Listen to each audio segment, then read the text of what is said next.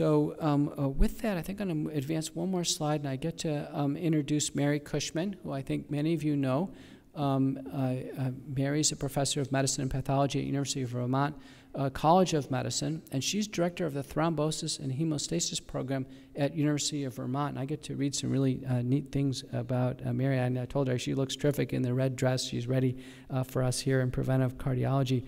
So uh, Mary completed her medical school residency and fellowship all at the University of Vermont in uh, Burlington, and then she went to Harvard uh, and got a master's in epidemiology at the Harvard School of Public Health, kind of like I did over at uh, at Michigan. And um, uh, Mary is actually a hematologist. And she uh, is in the Division of Hematology Oncology at the University of Vermont, and she directs a thrombosis and hemostasis uh, program. And uh, she's been very involved in NIH uh, studies, and she's led them. She's had uh, over uh, 20 years of continuous NIH funding. Any of you who've gotten an R01 know how much work that is to just administratively uh, get that get those over the finish line. Uh, she's a fellow of many of the societies, including the AHA, and as a hematologist, she's actually led many of our councils and given guidance on our councils over the course of time. And Mary's won many awards uh, including Senior Researcher of the Year at the Fletcher Allen Healthcare Center, Distinguished Achievement Award in Epidemiology uh, and Prevention from the AHA. And most importantly, uh, Mary has been key in this REGARD study, which is an NIH cohort study, which is uniquely balanced between Caucasians and African Americans. It's very rich with data. We're going to learn more about the REGARD study tonight with her presentation. Uh, she has over 400 peer-reviewed uh, publications. She doesn't look old enough to have uh, 400 papers, and she's been cited over 50,000 times by others. Uh, the H index, I don't know if anybody knows this, but the H index is kind of the impactfulness of it. That means the average paper that uh, Mary publishes is cited by others 91 times, which is really amazing. So I'll stop here and introduce Mary Cushman and ask her to uh, take us through the next talk about um, LPPLA2 and cardiovascular risk. Thank you, Peter. Um, and thanks for that great talk. It was really informative.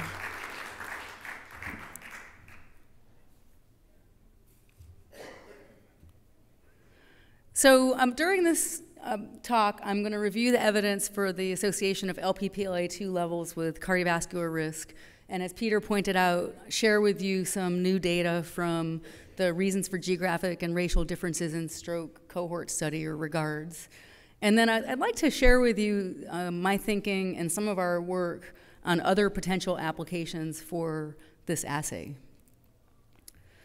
So th these are data from uh, individual participant meta-analysis uh, that I was able to participate in and published in 2010, pooling together uh, multiple cohort studies. So observational studies where baseline risk factor information is obtained and participants followed over years of follow-up. And in, in these examples, we have on the left a measurement of LPPLA2 activity at baseline, and on the right, measurement of the LPPLA2 ELISA, or I'll call it mass, um, on, the, um, on the right. And um, these um, analyses involved each 17 studies for activity and 18 studies for mass, including tens of thousands of participants and over 5,000 um, events of coronary heart disease. And what you can see is across increasing levels of LPPLA2 um, on the x-axis, it's categorized into quintiles. Each red square you see is each increasing quintile hazard ratio of events. And you see for the fifth quintile compared to the first, for activity, a relative risk of 1.7, and for mass, a relative risk of 1.6. Now, these studies included both participants with and without baseline cardiovascular diseases. So it's kind of a mix. From the clinical perspective, maybe not as useful as you, when you have a patient sitting in front of you because you've got a mix in these studies of people with and without baseline disease. But, but this was really the first definitive evidence pulling together multiple studies on this association. When you adjust further for um, other risk factors, um, you see some attenuation of of this risk relationship, but still a significant association of LPPLA2 activity and um, mass with coronary heart disease outcomes. Now, this analysis separates um, people based on um, whether they had previous coronary disease or not. So on the top, you see the results for the activity level. And this is now, instead of the top versus the bottom quintile, it's the relative risk or the hazard ratio per every standard deviation increment higher value of LPPLA2. And so for activity, you can see um, the first row um, of data are people who had no history of coronary heart disease prior to entry into the studies. And the second row is people who had stable coronary heart disease at the entry to the study. And so you see among those, um, for this version of the activity assay, which is the older generation activity assays, you'll hear more about the different assays uh, from Dr. Blick, that there really was no association um, in among 16,000 people with 1,500 coronary disease endpoints. There was no association of uh, LPPLA2 activity, the hazard ratio being 1.03. Um, for MASC, conversely, um, on the bottom, you see in the first row on the bottom uh, graph, among those without a previous history of coronary heart disease, a relative risk of about 1.1 per standard deviation higher LPPLA2, um, and then among those with stable disease, uh, a relative risk just a little bit higher. So this, this finding led to some confusion about whether the activity of LPPLA2 um, was valid as a predictor in those without a prior history of cardiovascular disease. Um, these are new data just published um, in the past few months from our lab uh, using data from the multi-ethnic study of atherosclerosis. Now this is another um, observational cohort study and it's funded by NHLBI. Um, in this analysis, we had 6,800 people from four race ethnic groups who were enrolled starting in around 2000 and have been followed um, over time for coronary um, coronary heart disease and stroke outcomes. And here we have the data for, for incident coronary events. So on the top, you see all coronary heart disease events. So that includes MI, uh, fatal and non-fatal MI, and revascularization events with 358 events. And these are also the hazard ratios per standard deviation higher LPPLA2. And you can see in both Model 1 and then Model 2, which is additionally adjusted for measures of subclinical atherosclerosis, um, robust relationships of the activity, both the activity and the mass with um, CHD outcomes. The bottom portion of the table shows what we call hard CHD outcomes. So these are fatal and non-fatal MI outcomes. And so there's less events, of course. With 223 events, um, you see even stronger relationships. Um, so 1.2 to 1.3 fold increased risk per SD increment the reason this finding is really interesting is that the relationship persisted regardless of the level of subclinical ath atherosclerosis the people had. Remember, these people are all healthy at the beginning without any clinical disease, but many of them have subclinical disease like coronary artery calcium or a thickened um, internal or common carotid artery.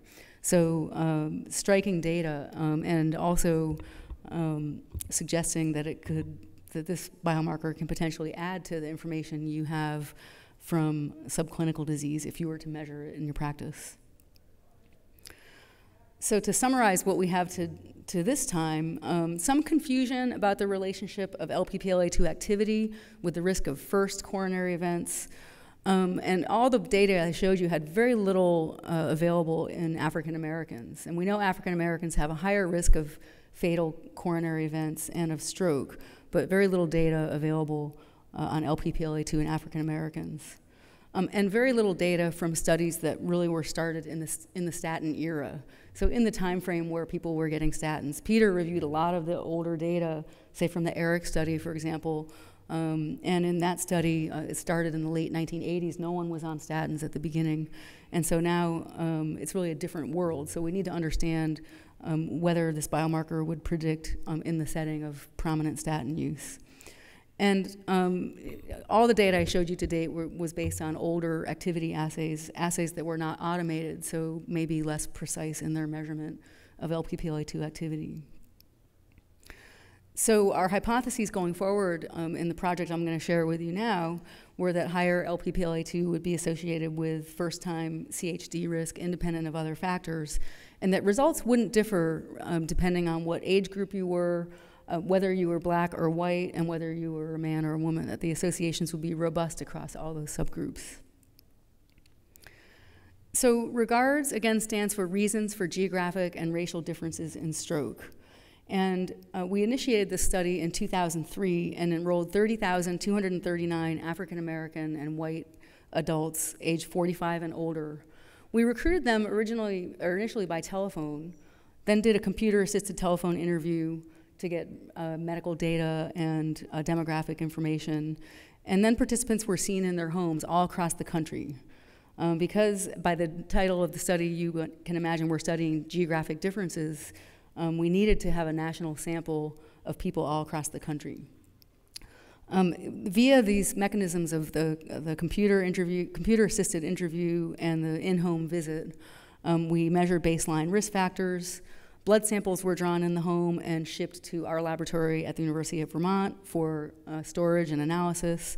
And the participants are followed up every six months by telephone to ascertain stroke, um, other cardiovascular outcomes, and cognitive function. The map on the right shows you where the participants live. The red dots represent white participants, and the blue dots represent black participants. Uh, you can see there's a lot of people in the southeast. We oversampled on the southeast because we're studying uh, the southeastern stroke belt phenomenon, the higher risk of stroke mortality in the southeast, and trying to figure out why that exists, as well as why there are racial differences in stroke mortality. So when a participant told us they might have had a vascular event, um, there was adjudication by a committee of the medical records from that individual. The um, ascertainment of coronary events uh, was funded by the National Heart, Lung, and Blood Institute via an R01 to Dr. Monica Safford at the University of Alabama at Birmingham. So her team uh, reviewed those records to validate the MI or coronary death events, and the analyses I'm going to show you include 5.3 years of follow-up. Um, in this analysis, we excluded people who had baseline self-reported coronary disease or stroke, so really a primary prevention population. And over the course of the five years, there were 614 identified coronary heart disease events. Rather than measuring LPPLA2 in the entire 30,000 people, which would be uh, cost prohibitive and actually is not necessary to do this kind of study, we selected a sample of the 30,000. We call it a cohort random sample of nearly 4,000 individuals and then we pulled the samples out of the freezer in the cohort sample and those who developed incident CHD and measured LPPLA2 activity. This was done by diaDexus using the new PLAC test, um, and has, which has low CVs as you see here. We described the association of LPPLA2 with risk factors and used Cox proportional hazards models to um, calculate the relative risk or the hazard ratio of CHD by baseline LPPLA2. We divided the LPPLA2 distribution into quintiles, as I showed you on the previous slides for the other studies that were done. We also used the um, 80th percentile as a cutoff to define elevated LPPLA2. So we turned it into a binary variable as well. And we adjusted for the usual uh, cardiovascular risk factors that are listed on this slide and also for baseline statin use and baseline CRP. We used um, interaction testing to determine whether there were differences in associations of LPPLA2 with CHD by age, race, or sex. So this slide shows the risk factor levels by LPPLA2 category. Uh, again, we used the 80th percentile as a cutoff in this analysis. The distribution does differ by sex, and so we use sex-specific uh, percentiles to define this cutoff. So for men, it turned out to be 250 and for women, 200 nanomoles per minute per mil. You can see that age did not differ very much by LPPLA2 level, um, and you can also see that blacks had uh, significantly lower levels um, of LPPLA2 than whites. So um, we're really interested in this study and understanding racial disparities, and this tells us that probably LPPLA2 is not involved in explaining the racial disparity because blacks have lower levels. Blood pressure was similar. Diabetes was a little more common in those with low LPPLA2. Smoking was similar. Uh, as you might expect, LDL is lower with lower LPPLA2. And statin use was more common among those with lower LPPLA2 because, as you heard, um, statins will lower the level. As been, has been shown in other studies, CRP did not differ by LPPLA2 level.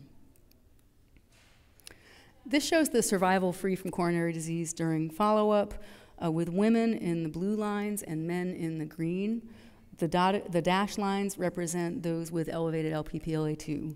And you can see for both sexes there is separation of the curves um, such that those with higher LPPLA2 have a higher incidence rate of CHD. And of course, as you would also expect, men had a higher incidence than women.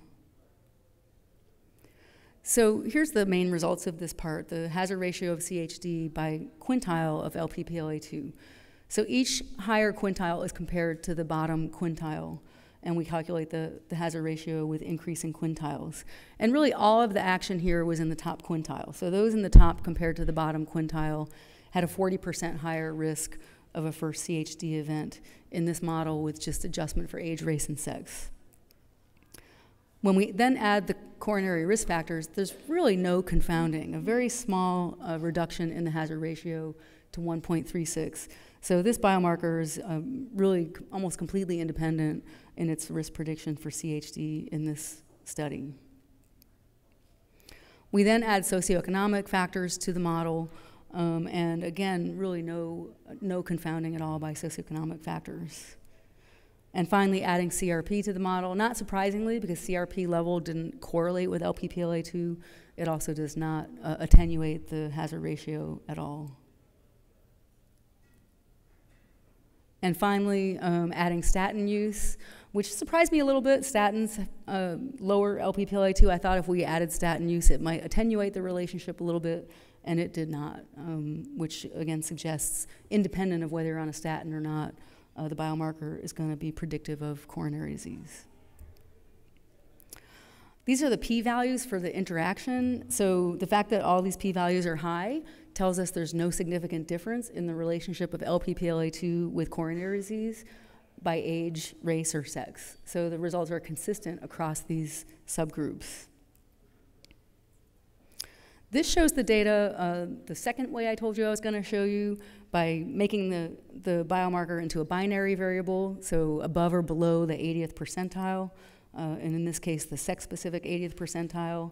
And you see across the series of models, uh, you see similar um, lack of confounding. So the relative risk is 1.6 in the uh, minimally adjusted model, and very little confounding by the successive addition of the risk factors and um, baseline conditions that I described previously.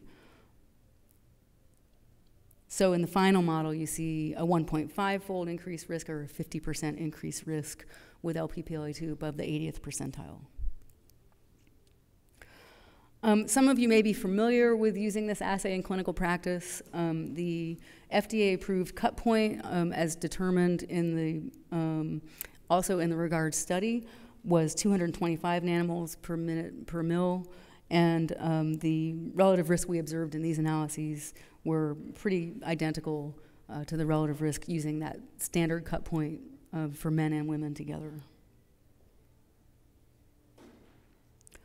Um, because we're interested in racial differences, although the p-value for interaction was not significant, we ran the model with race stratification just to see what the numbers look like.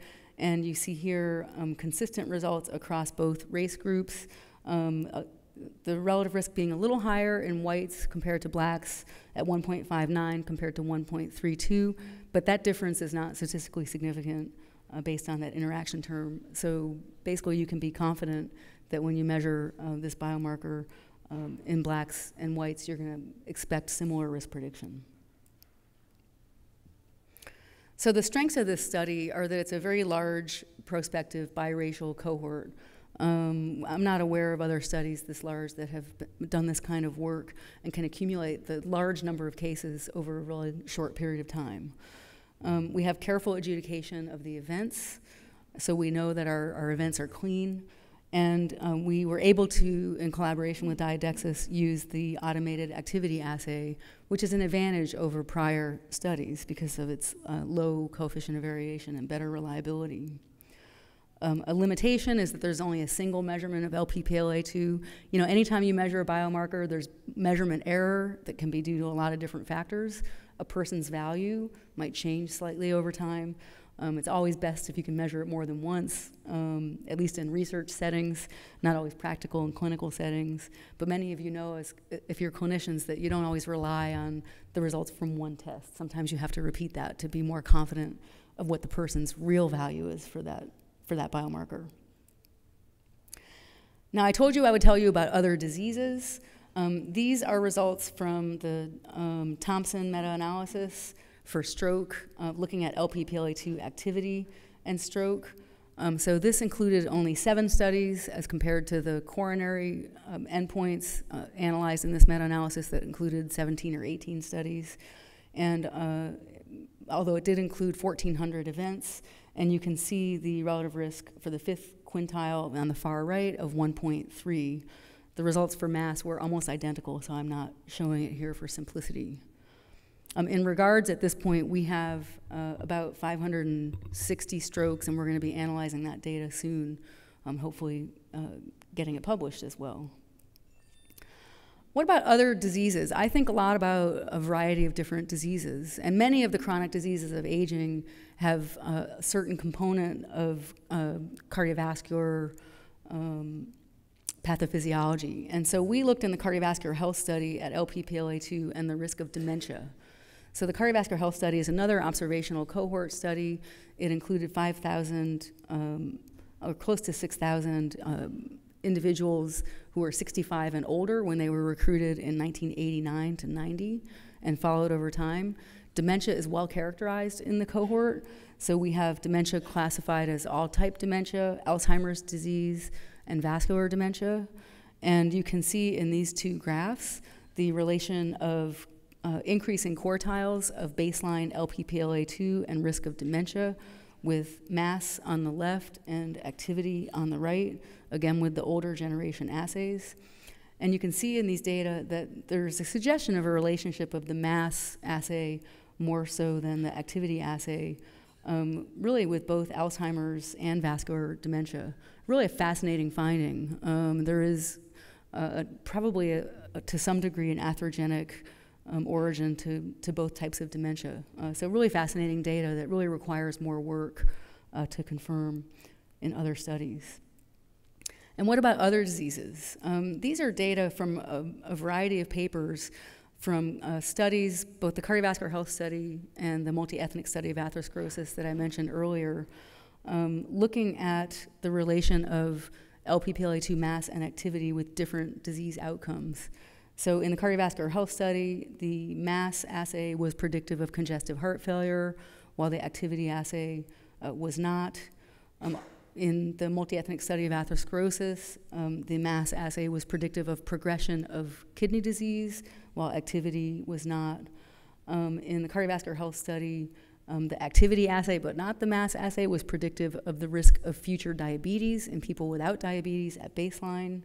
I showed you the data for stroke, um, and, the, and the data for dementia, where it may be a little bit unclear uh, due to power considerations in that study. We looked at this uh, a, a, while ago in relation to risk of venous thrombosis, a disease that we don't think of as being as sharing the same risk factors as atherosclerosis. And uh, sure enough, as you might predict, there was absolutely no relation of LPPLA2 activity or mass with uh, the risk of future venous thrombosis um, which is not surprising but interesting. Um, and then peripheral artery disease is the other common major vascular disease, and we have uh, data in progress on that that hopefully I'll be able to share with you soon. So to conclude, um, LPPLA2 activity is a risk marker for first CHD. Um, the prior null results on predicting first CHD with the activity assay may have related to imprecision of non-automated assays. Associations in regard regards were robust in blacks and whites, in men and women, and across the age spe spectrum between 45 and 100 years old. Um, and we need more work on the epidemiology in relation to both CHD, predicting recurrent CHD, predicting other diseases, and the contributions of the activity and the mass assays conjointly uh, to risk prediction. I'd like to acknowledge the sources of funding for the data I've shared with you today. Uh, the NINDS, the National Institute of Neurologic Disorders and Stroke, the National Heart, Lung, and Blood Institute, um, diaDexus, and uh, multiple regards investigators, as well as MESA and CHS investigators that I've had the fortune of collaborating with over the last 15 years or so on this topic. Um, and these are some of the regards investigators. On the top left, our group, um, the executive committee meeting down at the University of Alabama at Birmingham. On the bottom is the group at the University of Vermont, our investigators and technicians uh, celebrating the end of recruitment for the study, uh, processing and receiving uh, 30,000 individual samples one at a time uh, that have gone into 24 chest freezers. You can appreciate that. We have about 750 liters of fluids uh, from these participants. It's, it's really uh, an amazing resource. And on the top right, I think it's important for all of us who are uh, clinician scientists to acknowledge our clinical colleagues and the um, contributions they make to us being able to spend our time doing research.